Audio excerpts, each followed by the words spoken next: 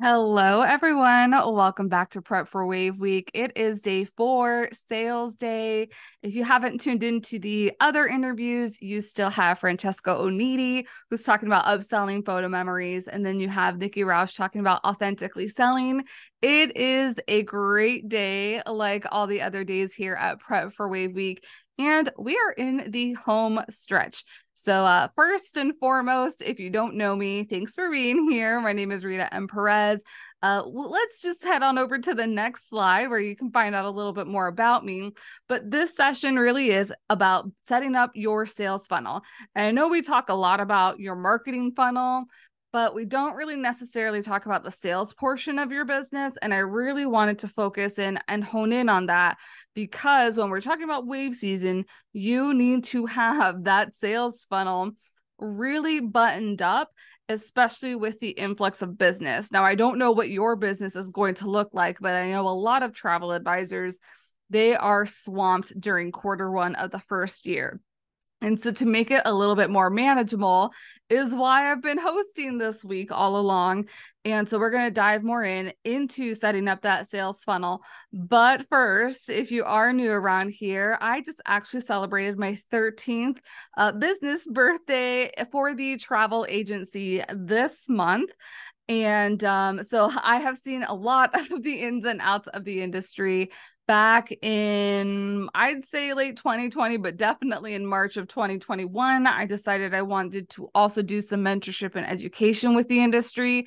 And that started with the Strategic Travel Entrepreneur podcast.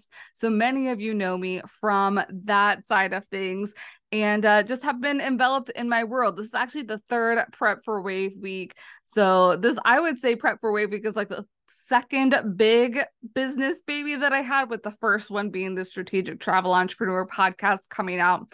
And so I've helped and mentored different people within the industry and outside of the industry with their marketing efforts through strategy and consultations. So at the end of this, I don't want this to be a surprise or anything. There is going to be an invitation to work with me a little bit later on. But first, let's get to the goods of everything. Uh, now, really, what I would love to say is that everything should lead to sales within your business everything does not lead to sales in your business, uh, nor should it either. So that's why you see on this slide, it says nearly everything should lead to sales. You are in business, not to like have this fun, like side hobby. This is not a hobby. You have invested time, you've invested money, you've gotten licenses, you've probably worked with lawyers to draft up agreements. Like this is a business and a business needs sales. And so how do you get those sales within the funnel? So uh, I like to like peel back a little bit before we dive into. So here talking about the purpose of sales Number one, support your income. Again, you are in business to generate some sort of revenue. Whatever your goals might be, that is all individual. I'm not going to be one of those people that's going to say, like, you need to earn six figures, seven figures. That is not the lifestyle that a lot of people want, but there are a lot of people that do want that. So, what really fits in and supports your income?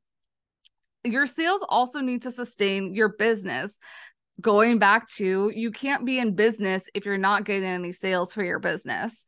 It also, the sales also in your business help you plan for growth and impact. So, if you want to do more, bigger, better within your business, or if you're gonna you're gonna learn this a little bit tomorrow in sarah young's presentation about building wealth if you want to use your tool your business as a tool to build wealth within your personal life you need to have sales in order to support that growth and impact. And then, last but not least, and I think maybe we might overlook this a little bit, is that you need to be able, or your business allows you to empower other people through your zone of genius, whatever it is, your expertise, whatever niche it is, whoever it is you serve, you know, and you have specific skill sets that you can utilize that a lot of other people don't have. Like if I were to talk to a, a, group of different people that I know within the industry, I know somebody works with empty nesters. I know somebody that works with autistic families. Somebody else works with people who want to go to biblical areas around the world. Some people just want sun and fun. Those are four very different and specific areas and very different types of people that you're going to be working with. But because you serve them, you know how to kind of bridge the gap between what they want and what is possible. And that is your zone of genius. And people want that. A lot of people don't have that. And so part of sales is also this service and providing this service to other people that they're not able to achieve on their own.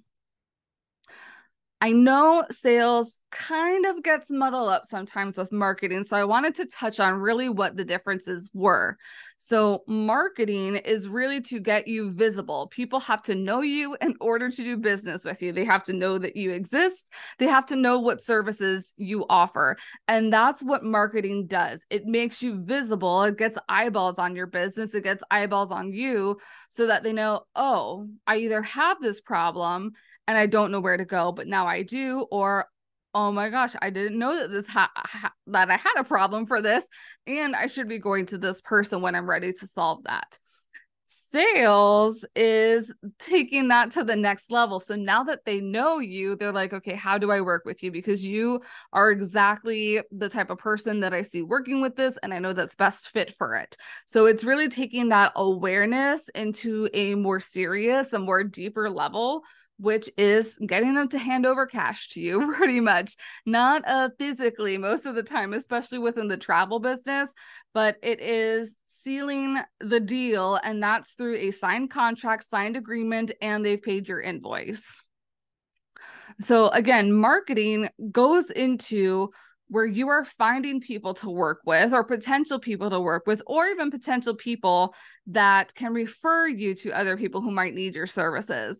It gets people to find you so you can find people both in person or you can find people virtually. So um i've been talking to somebody about this where what who is your niche? Like what kinds of events are specific to your niche? Like if you have golfers what types of events are golfers going to be going to what types of events are business coaches going to be going to like it's all very different i remember there was a post uh, in one of the Facebook groups recently that had mentioned something about I I'm going to do a 5 minute pitch in front of a group of people.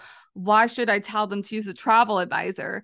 And I commented, I'm like, well, the answer is going to vary very differently if this is a group of moms, if this is a group of financial advisors, or if this is a group of business owners, because there's like three different strategies on how you can position yourself for those types of groups. So that's why I say, like, you really need to get to know who it is you're working with because that is going to make things so much easier when you're trying to figure out where they're hanging out at both in person and virtually. Marketing also helps you connect with other people. And so that's like the first phase of marketing is that like hello, I'm here. Then the next phase of marketing really is that dating phase. Like you have to figure out like are we a match to work with each other or not? Um, do I like your style? Do I like your philosophy? Do our values align and all that? And so that happens through like social media avenues, that happens through email marketing, and that happens just showing up at the same events over and over again. And then marketing also has to showcase your expertise that you are an expert in whatever type of travel it is. But sales helps people once they have identified or realized that they have some sort of problem, it gets them to your solutions. So it is sales is where you're able to present your offers to your prospects and they can make a decision like yes or no or maybe just not right now. So you're able to present these types of options to those offers as well. And it also helps give people the confidence to work with you. So you can kind of see there's a little bit of overlap, but really, if you're thinking of marketing as a visibility and sales as a conversion, that is what the difference is, is that we're just moving them further along so that we can aid them in shifting or like closing the gap on what their problem is. So, how do you get people closer to making that sale, which is really what the point of all this is. Any sort of marketing avenue that you have, you really want to get them a little bit closer to making a sale. And there's a lot of different avenues. I think the first way, and I think like the traditional way, like if we're thinking about you know especially we have black friday that's coming up. What kind of offers what kind of promotions what kind of value adds and bonuses? But aside from those things you really just have to present yourself and let people know that this is what you assist with. So i like to call some of these things sales events. And this is just a list of five. There are so many more sales events out there than just these five, but I feel like these are the probably the most popular types of sales events that are out there. The first one being discovery calls. And I have those there because especially if you're doing a lot of in-person networking, the natural fit for that is to be like, hey, let's hop on a call afterwards. This could also be a coffee chat. And so the difference between a coffee chat and a discovery call, a coffee chat is really just a get to know you session where a discovery call is I'm interested in your services. I want to know all that you offer and see if it's a fit for what I'm looking for. So, discovery calls is a little bit more serious. It's the next step to getting to making that sale. Then we have cruise nights, and I'm sure you can substitute the word for cruise, vacation, trip, expedition, whatever it is that you'd like. I know a lot of people use BDMs for this, which is great. You can also run a cruise night or some sort of promotional event for any sort of trip on your own. And I'm like, oh, I'm sure people are getting a little bit of shivers thinking about that. But you don't necessarily need a BDM to help you out. It's great if they can, but I want you to just remember that the BDM really is the support for the brand and not your business brand, their business's brand. They are there to support you, but it's a different if they're like I always use the uh the term XYZ cruise. So if they're with XYZ cruise, they want to get sales for XYZ cruise. Now, they should be helping you so that you can make more sales, but their overall goal is to help this cruise line and not necessarily your specific business. The third type of event is a vendor event. And fall right now is a really great time to get out there within your community, see what kinds of events are out there. Be selective because not every event is going to be a great event. Again, like where are your ideal clients hanging out at? Are they going to fall festivals right now? Maybe maybe not. Maybe there's some sort of other charity work that's going on or if you're involved with different community organizations those are types of events that you can like host either tables or booths and really go all out to one make yourself visible and then keep moving people along to that sales funnel a lead magnet delivery. I know that's been like a, a big keyword that's that you have heard, especially the past couple years. And especially if you are doing digital marketing, you need to have some sort of lead magnet. If you're posting on social media and you're not leading people anywhere, aka not adding them to your email list, which is why the lead magnet is so important you're making empty posts, my friend, and I don't want you to be making empty posts. I think this is where a lot of people's frustrations in social media lies because they think if they just post, people are going to be like, oh my gosh, that's amazing. Let me do this. That's not the way that social media strategy really works. You have to lead people down the funnel. It's not that you're posting, like, oh my gosh, look at these amazing elephants that I found on an African safari what's the point of that post? Are you trying to get a follower? Are you trying to get a share? Are you trying to get a like? Are you trying to give away a free guide that will get people on your email list? Because people are more likely to convert on an email list platform than on social media. So uh, that is another what I would call a sales event. And last but not least, definitely a webinar. And I feel like cruise nights and webinars can be similar because they can be the same thing that you're just hosting a webinar for a cruise night or vice versa.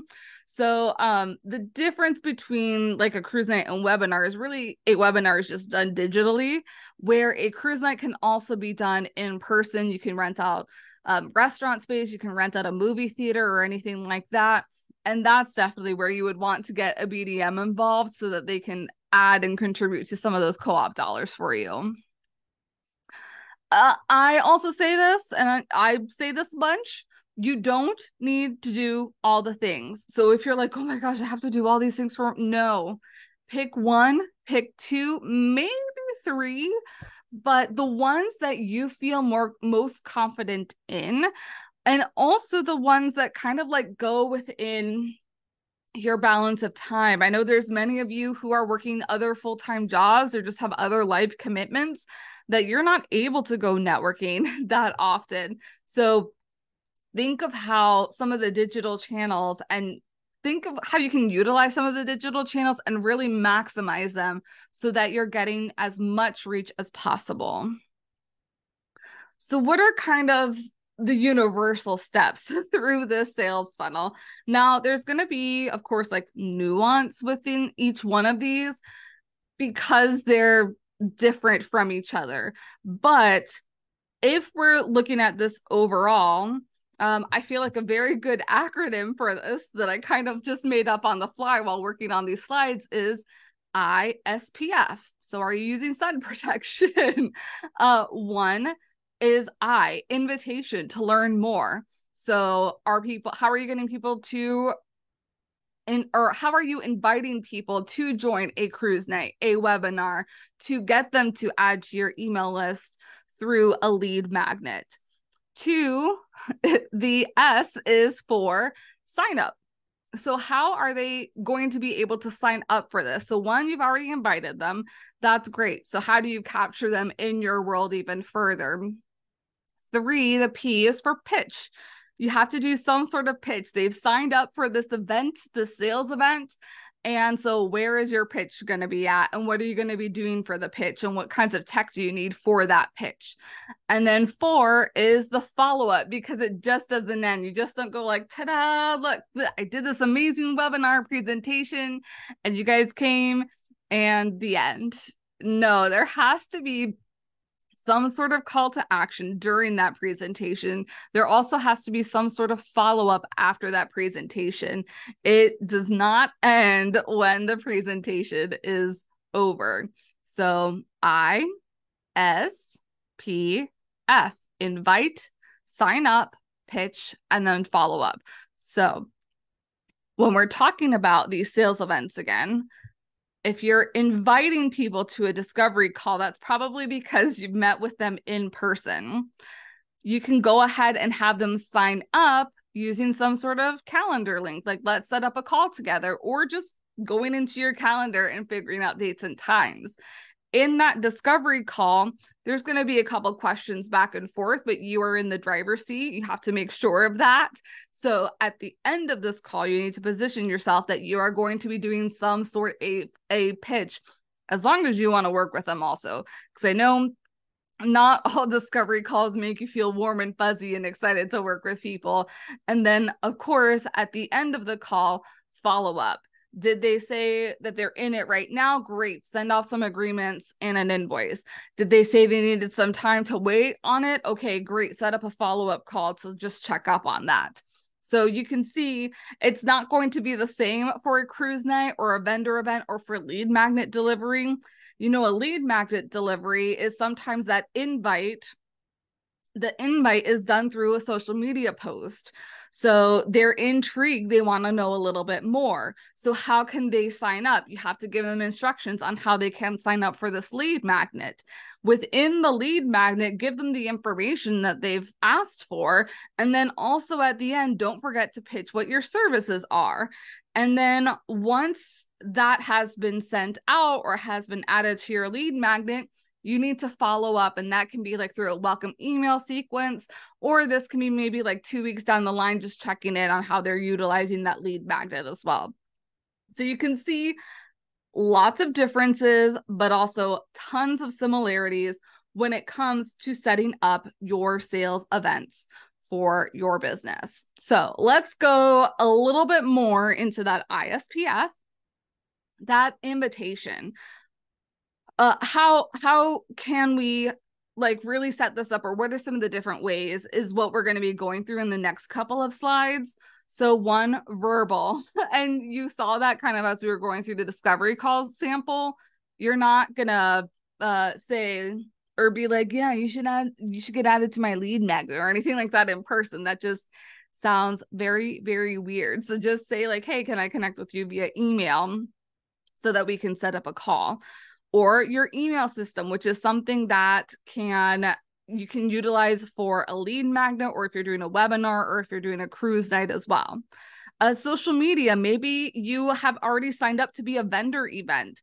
And so you're promoting that vendor event so people can meet you in person through your social media direct mail. This is something that I have done previously. Like if I'm hosting cruise nights, has been to send like postcards out to people to be like, hey, I'm doing this. Would you like to sign up? It's the initial invitation to get them to sign up. So, how do you get them to sign up? My favorite form is through Calendly Link, which is a calendar scheduler. Uh, other famous ones that you may have heard of are Acuity and TidyCal. Um, Calendly, I just find super simple to use, and there's a lot of different options and variety. So it's my preferred method. And I have probably like five or six calendars that it has to look to make appointments in. So uh, it just makes life so much easier if you can have the these automated processes like a Calendly. The next step of that process, the automation process, is also an email automation. So if someone has signed up to your webinar or to your cruise night, you want some sort of and when i say automation you want emails to be sent out based on certain triggers. So if someone has signed up for your lead magnet they should be going through an email automation funnel that says okay send this email out then send this email out here and remind them that the event's happening today send this email out. So that you're not having to stay on top of all of these emails that are happening I know that it can like feel overwhelming, like, oh my gosh, there's a lot of steps. But really, like, once you get into kind of like the groove of doing all these, it is super, super simple. And then again, you know, when we're thinking about marketing matrix, I think it's also very important to review your meet, M E E T, how you are meeting people because if you're meeting di- people digitally this is what you're going to need to do but it's also going to make your life so much easier. So i don't want you to feel like overwhelmed with the tech and that's kind of i have some help uh, along coming along in the future slide so just bear with me a little bit. Uh, then comes to email automation, your landing page, especially lead magnet, cruise night, webinar, those types of things you're going to need to send people. So here's a lot where the backend automations start. Are you hosting a landing page on your website? Is your landing page hosted in your email autoresponder like Flodesk, Calendly, Constant Contact, MailChimp, ActiveCampaign, ConvertKit? Um, sometimes it's easier to embed a landing page onto your or the form onto your website than it is just to give like a flodesk.com slash abc 123 like that long url so um considering like how how, how are you going to host the landing page aka the registration page? If you are hosting something through like a zoom there's a registration page feature that you can link up through zoom and then last but not least, again, like this is not an extensive list. These are just some of the most popular ways that people can sign up. Uh, QR code, especially if you're sending that postcard in the mail, make it super simple for them. Like, don't even worry about them having to like go onto their phone and, and find the link and all that. Just put a QR code on that postcard so they can just scan it and automatically sign up from there. Now, the pitch. And really, what needs to be honed in is what your planning process is. Um, what is kind of like your own methodology, your own framework for planning these types of trips? Uh, what is your planning fee? Like, how long do you expect to get back to them? Um, just like really the ins and outs. I was going to break even more down, but I don't want to confuse you. I really want to focus on the different types of avenues that you can uh, utilize when you're setting up your sales pitch. So, your planning process must be one of the things that you are able to like really secure and button up. Then, your presentation. You see that I have some slides over here. What is the presentation that you are going to get ready for your clients as well? If it is something like a webinar or a cruise night, then an information guide. An information guide is going to be amazing, especially if you're utilizing a joint venture partnership and maybe you're at somebody's restaurant. You may have a presentation, but maybe you're just giving away copies of this PDF info guide printed, not printed, that people can take with them with more information. That's really part of what the pitch is. It lays everything out for them. And then they're able to make a decision by the end of it after going through it or like seeing your webinar or hearing your pitch at a vendor event to make that decision. Yes, I want to make the sale, or no, this is not for me right now. If you have a CRM or some sort of itinerary builder that gives you that trip landing page, that is also something that you want to have prepared for this make the pitch area so that it again highlights all of the information that somebody needs to make a decision on this trip. And then last but not least, something else that you can utilize, and this is for more one on one, and like if you're doing a discovery call, is some sort of screen recording to close that sale. And then, of course, we have the follow up. So you've had an amazing webinar, amazing vendor retreat or vendor event, and you're like, okay, now, now here's where a lot of the big type of work happens. And this may take a little bit longer to happen depending on where people are in that kind of marketing funnel. Are they new to you? Have they been following you for a while? Or have they already purchased a trip from you before? So, emails and automations, like we had mentioned, kind of like with that lead magnet delivery, send this email as soon as they sign up, send this email the day of the webinar, and send this email after the webinar has ended. Um, also, we're going to go back to basics with a phone or a video call. What kind of follow up can you do to answer some questions? And again, close that sale. And then, of course, any digitally, any sign up forms, any sign up pages like that trip booking page with your CRM or your itinerary builder. I would like to say factor in a 30 day planning period and also factor in some support for you. So, when I say 30 day planning period, this is the purpose of why Prep for Wave Week happens so early because I want this all set up for you before January even hits heck, even before the holidays even begin. So you don't have to worry about any of this during the holiday season. And you can stand firm that as soon as the clock strikes midnight on the new year, you're like, okay, I am set. I am prepared. Inquiries can start rolling in, and I don't have to be afraid or overwhelmed of what may come because of this. Now, when I say support, I specifically am talking about a system. And I call this the sales pipeline because now that you've got kind of your funnel settled, you've figured out how you're going to meet people, how you're going to connect with them, where you're going to be making that pitch, and how you're going to follow up with them. How are you going to keep track of people in the different stages that they're at? And that is through a sales pipeline. Um, I know and I love, you know, I have my post it notes here uh, but we are working smarter, not harder. And so part of that is to utilize some sort of project management tool like a ClickUp, Trello, Asana. There's a lot of different options that you see on the slide here. If going digital is kind of like not in your mindset just yet, or you're like, I'm a paper person, then figure out what that paper planner type system is for you because you need to have a system that tells you what what's written here in number two. It needs to track where they are so if somebody's new like okay they're at stage one they're at stage two they're at stage three.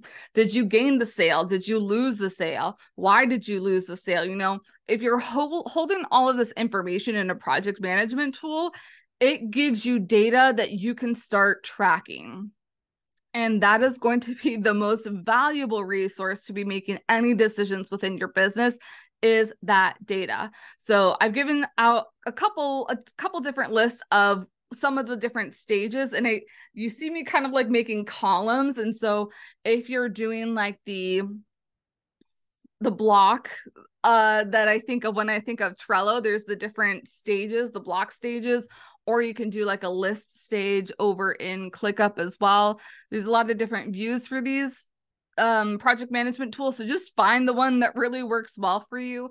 I know a lot of people have also been gravitating to Notion, which I'm I know of Notion and know how kind of Notion looks, but ClickUp is my preferred because there's so many different things that you can do with ClickUp. So um where they are in terms of did they attend an event? Did you schedule a, a, discovery call from that event? Did they accept an agreement? Didn't they did they pay their invoice?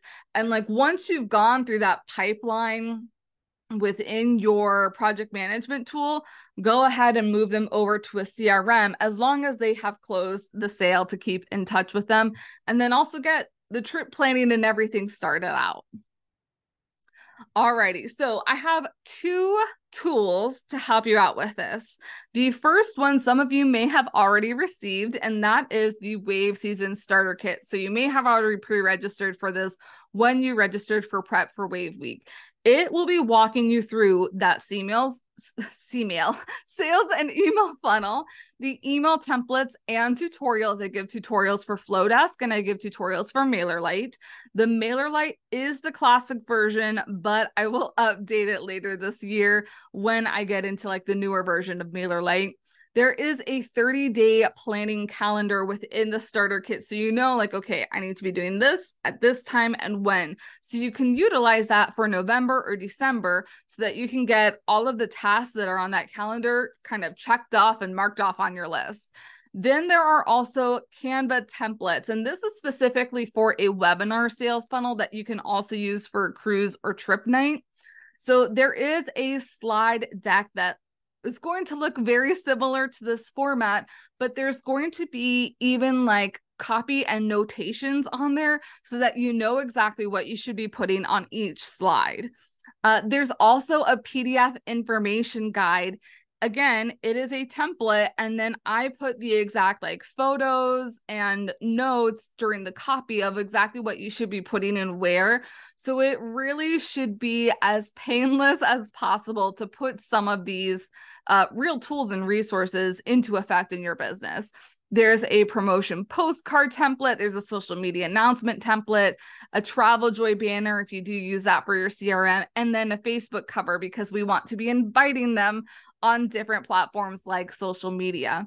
So uh, if you haven't already grabbed that, you can you can scan this QR code that is up here. Um, I am also thinking about doing some sort of like get it done day. So if you have the starter kit, feel free to email me at rita at steeryourmarketing.com if you are interested in some sort of get it done day where everybody that signed up for the starter kit gets together and actually works together and sets aside time to get all these components done so that by the time you're ready to host a webinar in January, you are all set to go. The second invitation that I have for you is the Plan Your Year session. It is formerly known as the Marketing Strategy Planning Session, but that was a mouthful and very confusing to spout out at times. So the details of this, it is like the one of the big coveted sessions of the year. It's happening Thursday and Friday, November 16th and 17th from 3 to 5 p.m. Eastern each day. Yes, these will be recorded, but you really should be there in person if you can, because again, it is dedicated time already carved out so that you can get this done. I walk you through essentially what I call my goals to action bridge, where we are looking at everything that's happened at 2023, planning out your goals with data uh, we're going to figure out what your sales are for 20 or what you want to be selling for 2024. And from all this information, then we can create your strategic and intentional marketing plan. Uh, this year, I have created a workbook. It is going to be available digitally with your pass into uh, plan your year session, but I have also worked on a paper print version that is going on Amazon that should hopefully be available by the time this recording goes live, but I will keep you posted on that with the links and everything as well. So if you'd like to join me for that, uh, you can scan this QR code and all the links will be underneath this presentation as well. So you can have those there. But those are the big things that are coming up at the end of the year is we're we're already prepping for wave week so if you haven't already gotten and you need something like the wave season starter kit make sure that you grab that and if you are wanting to go in with a plan for the new year instead of like feeling overwhelmed and behind you need to plan your year with us in community uh, this is a couple of really kind words from other travel advisors that I have worked with. Um, so if you know any of these familiar faces, please go ahead and reach out to them. I've worked with them all through different FAMs on the rivers in Europe, all through marketing channels and helping them with their marketing strategy for the new year. Uh, last but not least, thank you for being here. I know like I tend to flood with information. And so I hope this did not overwhelm you too much. But of course, if you are like, I have a million questions, you can join me today inside of Study Hall. Study Hall will be at 3 p.m. Eastern Time. And feel free to ask any questions that may have come up in the Strategic Travel Entrepreneur Facebook group as well. And uh, if you are not in the Strategic Travel Entrepreneur Facebook group, or if you're not on my email list currently, let's keep in touch. You can go ahead, take a screenshot of this one if you would like to. Uh, my email address, uh, my podcast, there is weekly content that comes out every single Friday. You can find me on my socials uh i'm you know instagram and me we're not having a really great time because it doesn't like keeping my stories and i love doing stories on instagram.